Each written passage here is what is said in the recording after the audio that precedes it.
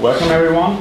This BOF has been scheduled um, very spontaneously because the talk Peter gave yesterday, I'm the maintainer of Upstart and thought this might be a good idea to gather some ideas how we could improve our init system, how we could manage to um, to, transition to a new init system. I want to, I have some ideas in my mind, want to hear a few if you think these ideas are crap or what. Um, and I just want to start with uh, some shortcomings I currently see in our current system. So, space. Yeah, our current init system is just a bunch of shell scripts. Actually, if you look at one of the shell scripts, it's uh, it starts daemon and, and you check the return code and based on that you do a log uh, message and so on. And if you have to re-implement this again and again and the policy changes over time, we have a very inconsistent uh, init system at the moment. So we don't really have specified what return codes we have to use. There is the LSB and I think we should, uh, in the policy, uh, refer to the LSB, what return codes we expect to at least improve our current system. And there's also the problem with uh, our output. It's not very consistent at the moment. So it got a little bit better with the LSB uh, uh, logging um, mechanisms that are in place, but they're uh, by far not that sufficient.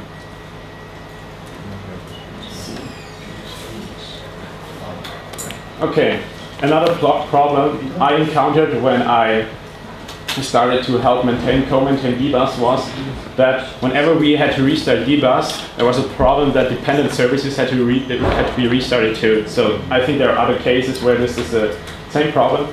So what can we do about it? The first thing about it is uh, reordering the boot sequence dependent on, on uh, the dependencies. That's uh, the talk Peter, uh, that, that Peter talked about it yesterday.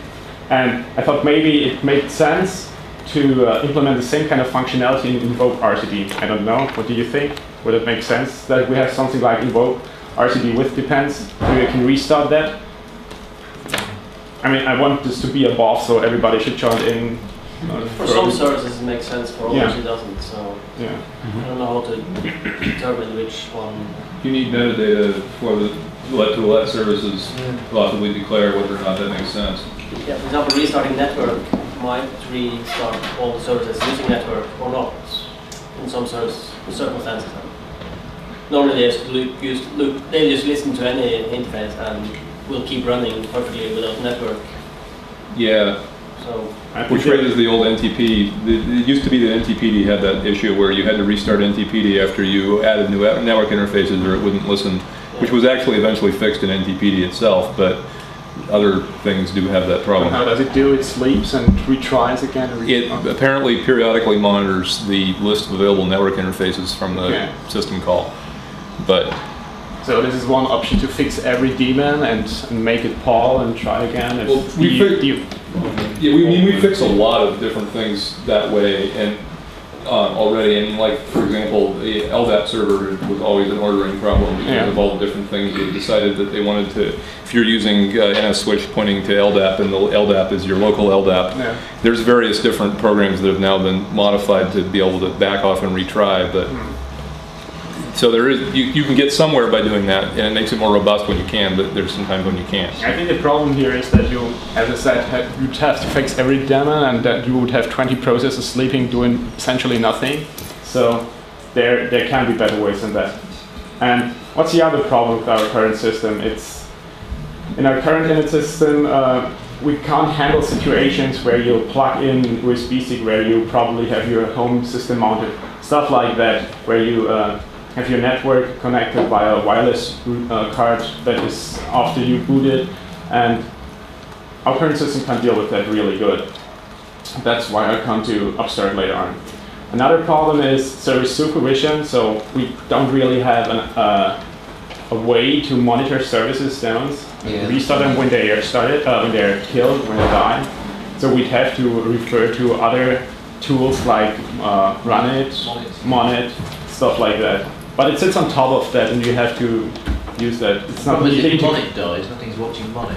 Yeah. Screwed, which would be annoying. But and the nice thing, if we can integrate this into init, it's that init has special semantics. So if a, if a child, if a fork uh, process dies, you can monitor it easily. So this is usually the process you want to do that. One of the better inits I saw allowed you to have arbitrary numbers of servers which were monitored and restarted. Yeah, Because for a real server, that's really, really important. The one thing we care about is the things that died get brought back again. yeah. Well, so there's, I mean, there's, there's a reason though why, why we, why everybody invented, why starting with daemon tools, everybody's been reinventing this wheel, uh, and without using a NIT, despite the fact that a NIT's had its capability for forever, and that's the, the interface to, uh, temporarily bringing a service down when you have a NIT monitoring it is hideous. Uh, you basically have, to, I mean, for most inits, you basically have to comment out the init line and then tell init to reread its configuration file, and that's that doesn't work. Um, the advantage of all these other utilities like Monit and Runit and whatever else is they have a control socket to the process that's monitoring that particular service, and you can run a command line and say, take the service down, bring the service Yeah. up, issue an arbitrary signal to the service, a bunch of other things like that that are that are actually extremely useful in practice for mon- for doing things to that daemon. Yeah. I mean, if, if somebody added that to an init, I'd be happy to use init, but it, it, init as it is doesn't have that capability. Yeah, it's too stupid, isn't it? So, And well, init is not uh, designed to, to have the capability. It was designed a very long time ago, Yeah. before the, the needs uh, arrived. So I don't think it can be even engineers to, to Well- decently do it. And there's a strong argument to be made for making init as simple as possible. Yep.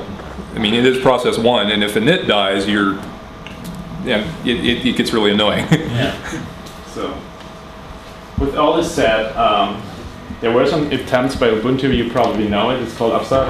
I'm currently the maintainer of it in, in Debian, and I'm very interested to to make it possible to get uh, Upstart installed in Debian, so we can really use it as an alternative, maybe as the default in the future. Who knows? And there are currently some issues that are blocking that, and I'll come to that later. So first, some uh, some nice things about Upstart. So it's totally event-based. What you need are events, and events are generated whenever you plug in a hardware device. When a job is started, itself generates an event. So let's say dbus is started. The job itself uh, emits an event. that- It's called dbus started. And, and whenever such an uh, event is emitted, you can write another job that uh, listens on that event and is started on behalf of that. So the only event that uh, Upstart itself uh, emits is startup, and from that on you start your uh, your boot process. What what it, that gives you is that your boot process is completely race free. So you mount uh, a device when the device is ready, and not uh, some arbitrary number in the boot process. And uh, the actual idea to make uh, the boot process robust and not so much what what some call Upstart is for making the boot boot up faster. That's not the actual goal of, of Upstart, but it's a nice side effect. And uh, I had some nice pictures that shows that I could, yeah, by 50% my boot time went down because it also paralyzes it. Uh, it just fires event and many of them are started in uh, parallel. Are you involved in the development? Yeah, uh, my let's say the, the upstream, the core developer is Scott James Remnant. So I'm what I'm trying to do is not do, do the core development. Uh, I personally want to develop a, a dbus proxy for, for you. That, that's my personal goal to do that as a head project, which is a little bit separate from it. But I'm, I'm listening on the mailing list. I give comments whenever Scott uh, once it's feature to have discussed. So this is my involvement, basically. But uh, the main author of Upstart is Scott James Remnant. Are there Debian developers involved in the, the development of Upstart? Other than I don't think so, but there are other distributions. One I know of already uses Upstart as main boot system to drive it. Which one? It's- Debian developer. Scott? Uh, it's I uh, think Thank you, it's- Matt. it's not anymore. No, I It's- just see him a lot. Frugalware, if you know that. It's a smaller distribution. Which one was it? Frugalware, Frugalware, don't, don't ask me how it's pronounced. And um, yeah, there are, there are some, I would say, 15 people who are around at, uh, at the IRC channel of Upstart discussing things and stuff like that. And um, yeah, I put the URL down there, so I don't know. It's upstartubuntu.com. Exactly. There's a wiki where you leave where you can leave comments.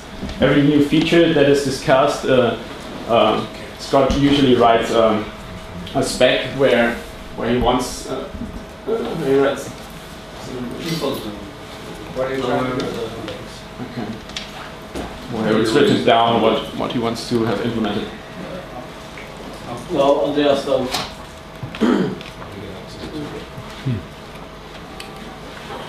Two people compensating much. Big Yeah. problem. What I think is really nice about the concept of Upstart is that currently the version that is experimental, so you can install it today, is um, what it basically does. There is one job called RCS that listens on, on the Upstart event, and when that is started, it, it drives a complete system uh, five-layer compat layer. So at the moment, it um, it uses your existing init scripts, so you won't notice a difference. This has the advantage that uh, Upstart can be stress tested and uh, and we can check if the code actually works, and it does. Uh, as far as today, it does this very well, and we can tran- uh, transmit uh, transfer jobs bit by bit to, to real native Upstart jobs. And if we want to have the full power of Upstart, we have to do that somehow, somewhere, to write native Upstart jobs. Now the problem is um, how we are going to do that for Debian. If um, every package that ships an init script should do that uh, for System 5 init and ship an Upstart job, or should there be a separate package that ships all the, the, the Upstart jobs that, that have been written so far, and uh, then when you install a package, it installs the corresponding Upstart job. This is something I wanted to discuss with you mainly. That's my concern. So. Okay, there's, there's still some work to do before Upstart can be a complete replacement. There's something called complex event config. It's something with, when you want to combine several events together, say if the network device has been plugged in and this condition or this condition, but not this condition, this is currently not yet working. What it currently does, it, it only listens for events and ORs them. So if that happens or that happens or that happens, start it. That's that's basically it. But it's it's basically enough to com- drive a complete boot process with Upstart jobs alone. And I'm using it already on my laptop, and it's working pretty well so far. To say. Fortunately, I can't demo it because uh, my laptop I couldn't get it to work really. So everyone who is interested in the format of these Upstart job files, I can show it to you later. So. Isn't it just like an exit line and the daemon with its command parameters? Yeah, um, that's a big difference between Upstart and, and System 5 in its script. So it's declarative. You just say, okay, this is uh, the path to my to my daemon. These are these are the parameters. Then you say, okay, do you want to have it respawned or not? And then you have uh, sections called pre-start, pre uh, mm, post-stop, Yeah. where you can prepare the environment for the daemon to be started. So, for example, uh, a typical uh, use case for that would be to create a run directory or uh, initialize something, load a module. Um, yeah, that's basically it. You write down and, and um, all the other stuff is automatically handled by Upstart. So if you if you type in start, that's a command by Upstart. Start uh, job name, it just brings it up. Uh, if the daemon is already started, it just does nothing. And if you type in initctl list, it shows you all running processes or, or all running jobs. And you can easily stop one job, and based on that, other jobs are either stopped if they have corresponding uh, um, um, stopped on, let's say, dbus stopped uh, Yeah. uh, commands in it, so they will be brought down automatically and brought up again when dbus is started. So it's pretty easy to format. So. How does it, how does it decide if a job is already running? Pardon? How does it decide if a job is already running? Uh, when you go to, when you, when you go to start a new one, for example? So as soon as the process is spawned, it says, okay, this job is started, and an event uh, is fired that this job is done. Okay. If you have a So it's kept track of by the running upstart daemon. Yeah. So the other thing is if you have a daemon that is uh, after it started, it takes a while to initialize, spawn other daemons and stuff like that. You can uh, you, there is a post start section where you can uh, monitor something like okay, you have um, a Tomcat instance which connects to a MySQL server and only after that it's considered to be ready. You can ping your Tomcat server or your Apache server and only after that, that your server is considered to be up. So, yeah. What happens if you upgrade upstart? Um, it just tells it to re-exec itself, reloads it, and that's it. It- it keeps all the state. It keeps all the state. Yeah, no problem. Where is it keeping the state? It's keeping it. Uh,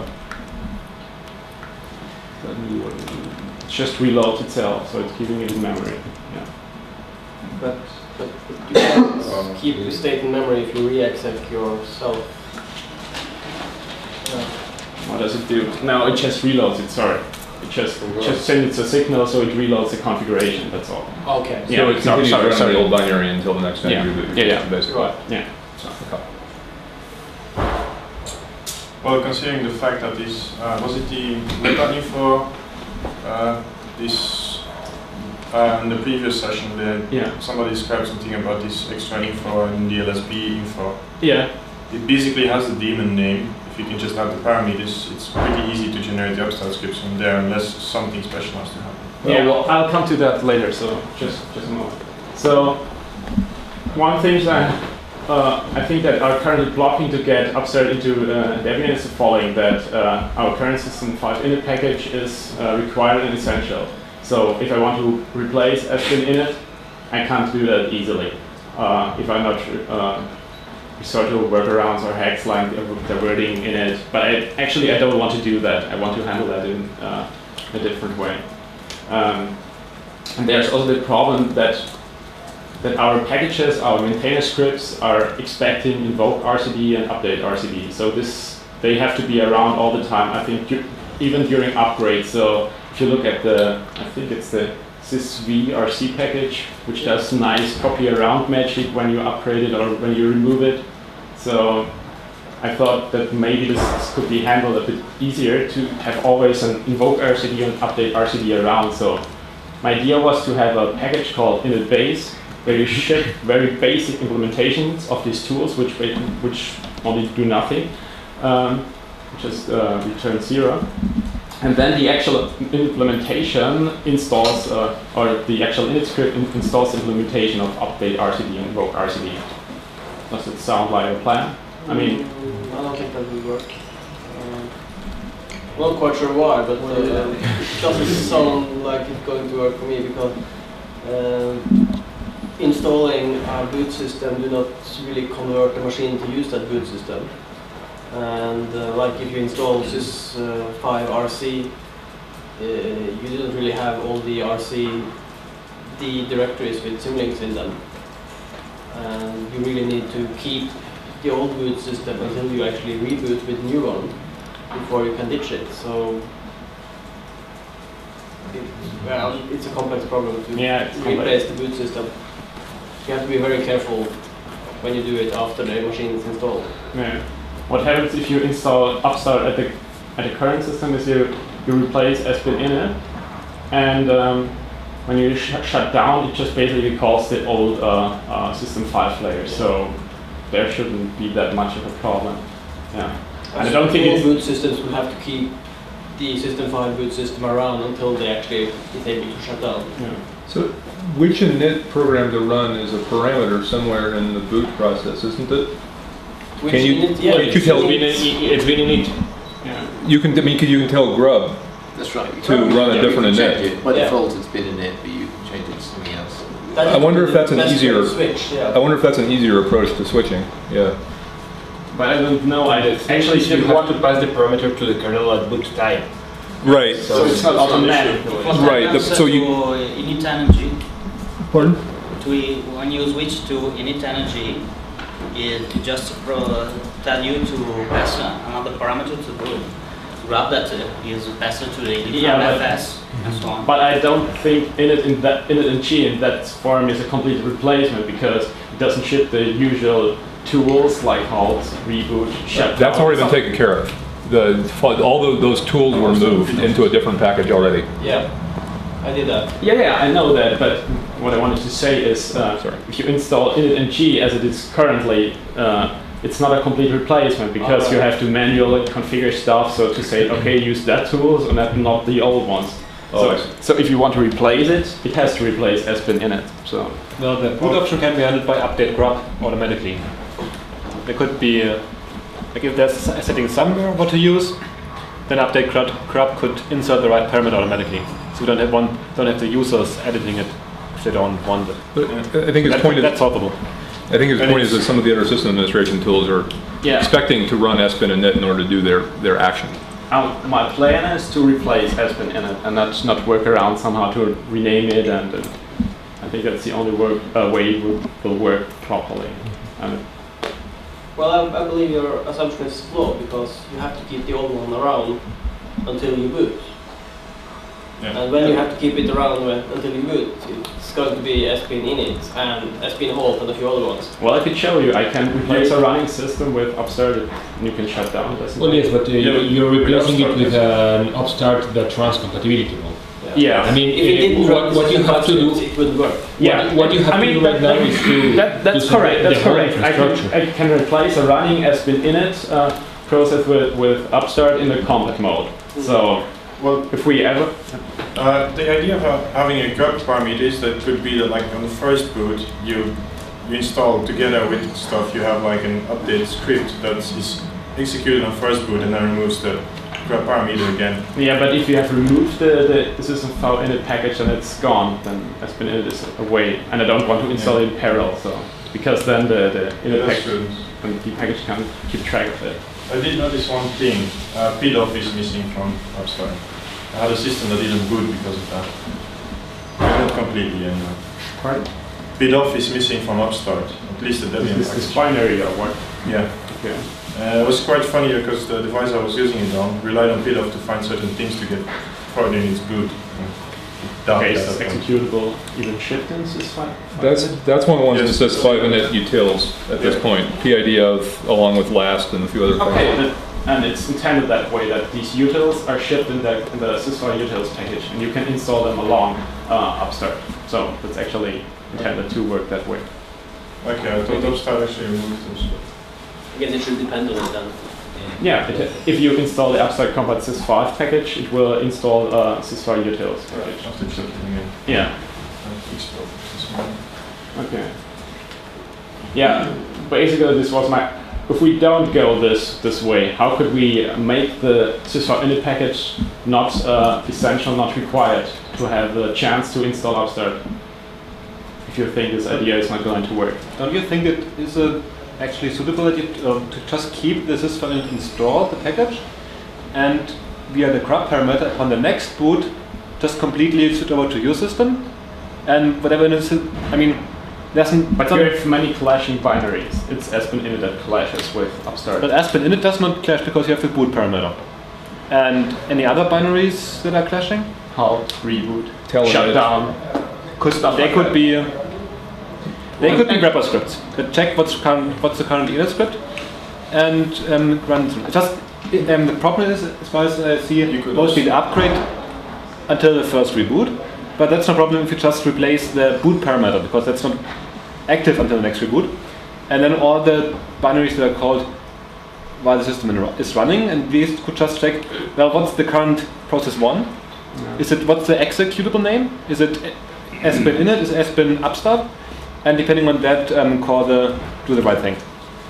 So I think that would work, and they have the, good, the nice advantage that you always have the system init installed. And in case something goes wrong, you have the choice to just boot grub with another init parameter. You just have another init system.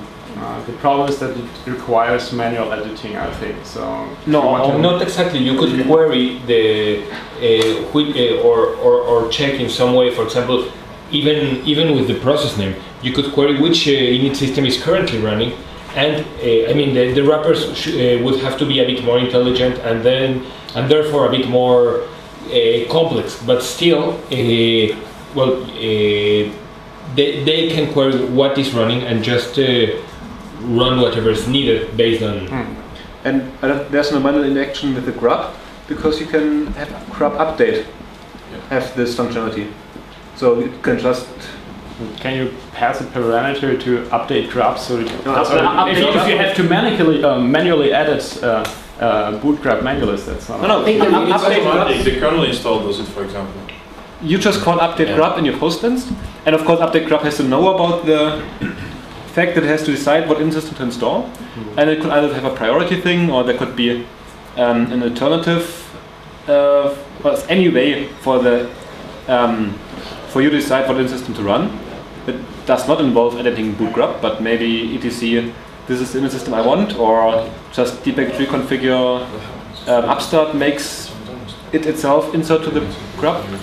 So the question is actually how can we modify the grub system to be more adaptable to changing init systems?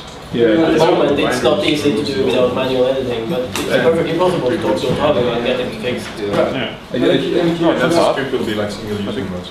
and if you don't use grub, Well, so you know, there, then you then you then you fi- yeah, then you know the file you just type in init equals sbin then just No, works but the for grub didn't Intel work. users, not for PowerPC users. or Wouldn't it be easier to make it two-stage install? Okay.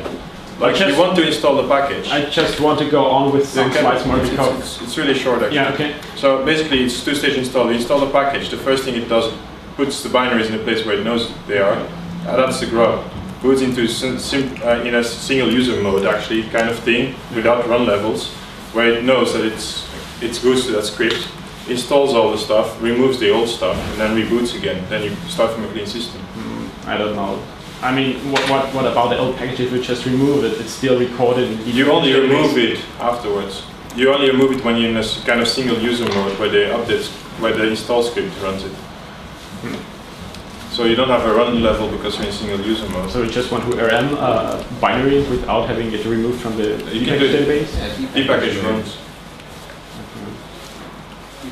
deinstall whatever it is, purge. I think we can conclude that switching the boot system during it, while it's running, it's a complex problem. That's why As I said, do it from single user. if I go the root um, sysvar init, upstart plus compat layer, it's not a problem. It actually works today. You just install it, it shuts down, and, and if we really want to um, to move to the system, we could could make it um, uh, upstart plus compat sysvar for one release. For the next, we could uh, go to the new uh, init uh, upstart jobs. So this would be a possible upgrade path. What do you think? I don't know, it's someone says it's a thousand packages using init scripts. so Well, the- the nice- The nice thing about that would be we could replace the sysvar init package with upstart. It has basically this, exactly the same uh, functionality as it has today. Uh, because it uses the system 5 init scripts, and so we don't lose anything, and we don't gain anything much. And What- uh, what we get... this this uh, compatibility mode you, you said that Upstart has can be even I guess used in in different systems because it's just uh, a, a binary that calls all the RC file uh, RC files in, in order, right? So- Exactly. It just it just calls the old So- system 5 so- init scripts. So this script could be, could be even split from Upstart, put into the, the base init, the whatever uh, indispensable inits uh, that we will have. Well, it That doesn't really the, the make drug, sense. yeah, that doesn't help us really. I think. It's not possible either because it's in the binaries. We had a few more slides. Yeah, it's like in but we might have. Okay. The compatibility. Okay, this, this was my basically my idea to, to have that uh, to make really uh, possible to to have sys5 init not being uh, required and, and uh, essential. To introduce this new package, make this one required and essential, and let this one depend on the actual in implementation default. So so any init system that com- uh, can provide a complete implementation that means a working invoke RCD and, and working uh, update RCD, plus uh, driving all init scripts that are currently available either to uh, either through a, a compat layer or through native jobs, could could have this provides uh, init system, so you could really replace it. Do we have a documentation describing what like boot system is supposed to contain, like update RC and hold and pidof and all these Yeah. things? Is there a document? I mean, update RCD and invoke RCD are the current uh, APIs. I would call it in Debian for, for managing uh, init scripts. So I think this is a starting point to.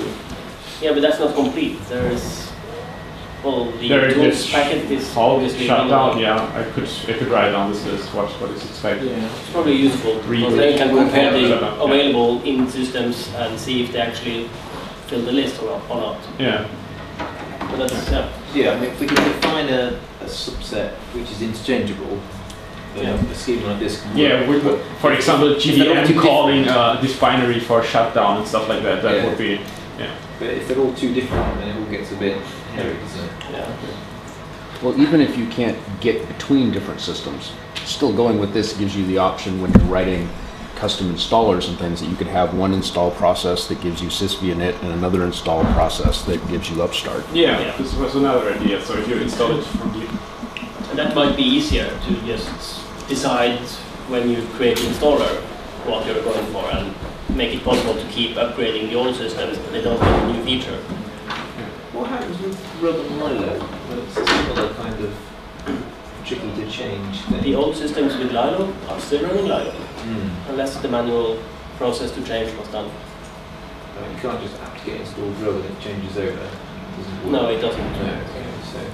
You could try. Yeah, well, that's what I was wondering. Yeah, maybe we just Okay. say. But in five to ten years, all the old systems You are could, gone. that's right, you could just say it's an install time only thing, and then it's a much simpler problem. Obviously, it is nice to be able to change. Okay. Okay, there's there's another problem I'm currently dealing with, and that is um, how I want to get uh, native Upstart jobs or native InitNG jobs or whatever um, having installed on your system. Currently, as I said, drives the complete uh, system file share. So how how should we do that? There's this approach called meta-init, where you describe it for uh, in a in a common uh, description language, and you generate uh, the, the start file or the start job file for, for your system in use. Um, but I think there's one, there are two, a few problems. Let me skip to the slide. And this is, yeah, that if you, that we have problems testing it if different uh, uh, developers use different systems, um, we will have possibly problems to verify that the boot sequence is correct. Someone using Upstart might not test the scripts or the, the, the meta-init scripts for, uh, um, for, uh, for the current system, System 5, for example. And we also discussed it that meta-init only targets the, the simpler scripts, so we still have the more complex uh, initialization scripts, be udev, DBus, and stuff like that, Apache. I don't, I don't think I'm not sure if we can uh, manage to, to handle that with meta init. And uh, so there's still a way that we need to have uh, this native uh, start jobs for a different init system uh, to have to replace the, uh, the, the corresponding system 5 init job. So it's clear somehow what I wanted to say? Since the meta idea is only a few days old, maybe we shouldn't start with those slide possible problems, but maybe first describe it. Yeah, yeah. Unless anyone, anyone here has already. Because the, It was I, mentioned. I thought there was already a BoF, so you discussed. Oh, sorry. the independent of this meta init can solve one problem. It's actually the quality of the of the startup scripts. Yeah, that's right. Because there are like startup scripts that like grab yes this out and like spawning seven shells and doing lots of things while one command could do it, which actually slows down your boot. I, I, I don't want to bury this idea. Not not not. Uh, it's not my intention. But what I want to uh, have in mind when when doing this meta Oh. idea is to to actually get an, an, an idea how many scripts can actually be handled with with this meta init idea. So we have hard numbers. So I think we have around thousand init scripts at the moment in the archive. And when we we could say, okay, we have 900 that we can handle with meta init. This would be a would be an achievement. So Only two out of four are mine. Take a random figure. yeah, I mean, there's a there's a it, there, I think there's a lot of init scripts that do strange things. I mean, I I have one that has to check for the kernel module being loaded, and another one that checks a bunch of stuff around whether or not you already have an LDAP database. So. No, but as, as uh, we originally discussed this, of course, discussion uh, changes when uh, when implementing. But as we originally discussed this, uh, okay, not every uh, pack, uh, package can use metainit, but most things can can be specified. I mean, not not only the most basic uh, uh, installations, uh, uh, startup scenarios, uh, but also some of the uh, the ones that have a, a bit of complexity.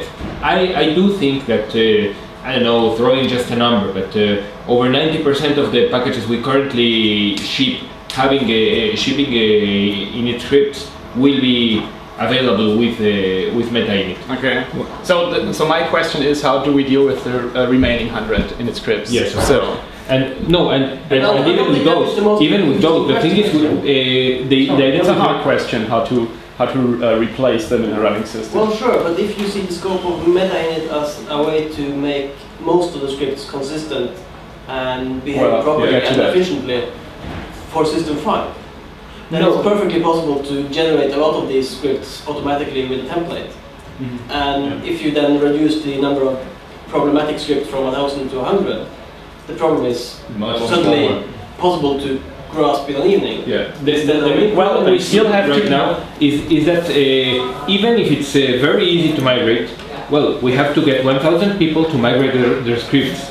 And uh, even if it's only a, a good thing, well, it's not by default. So, so it's not that easy. It's also what you propose with Upstart. Well, sounds sounds great, but Yeah. you have to get people to migrate. Yeah, yeah, sure. This so I'm I'm looking for ideas. This this meta init could deal with the 90%, I think, and the remaining 100. I, I don't know how to tackle this. If if I as Upstart maintainer should ship uh, these 100 init scripts for the more complex ones in, in, in my own package and on install time instead of installing the sysv init counterpart, I take it from my package and test it from there. Would that be an idea? Would others. Should others should should, should, the packages itself ship System 5 init uh, start scripts and upstart uh, start scripts? I suspect that the most complex boot scripts in Debian boot systems are the ones in the init scripts packet. Sure, I mean the- mounting, network early initialization. Yeah, the early boot system is very complex and Yeah. it gets a lot easier when you have a file system that actually is writable and Yeah. available. So But on the other hand, if you look, for example, at, at the Bluetooth uh, start script, it's pretty complex and long and uh, stuff like that. So this would be broken up in smaller jobs, usually within Upstart, where you actually start uh, very little pieces only and react on, uh, for example, when and Bluetooth devices edit, stuff like that. Yeah. Um, You find a bug and you keep the patch to maintain. Yeah, I mean, it's easy for each And it's easier if it's each smaller. application to supply upstart scripts. That seems to me to be the right answer. The moment they supply init scripts, they should supply, supply upstart scripts. Yeah. The problem is that, that it maybe takes much longer to Yeah. get to get started. If I want to say, okay, people, you can up, uh, install Upstart and you can run it now. If I have to wait until all the people get their That is true. Well, it's But taken on the two other hand- years to get to the point where I can actually recommend people start using dependency-based system 5 scripts. So it takes a while in Debian. Okay. Yeah, well, And anyway, then, if you can reduce it to 100 instead of 1000, it's going to take less, Yeah. less time. Yeah. Of course, you have to And it might even be that some of the problematic Still, uh, are actually not problem- Yeah. Might be that number of those problematic ones in System 5 might be really easy in Upstart or who knows what other system we use. but yeah, I think MetaInit is a great idea regardless of whether or not we switch to any other different init system, just because the majority of init scripts in Debian are badly written. And if the more people we can get to stop writing init scripts and instead describe what they want to do and let something can write an init script for them, Exactly. Yeah. the This- better off we are.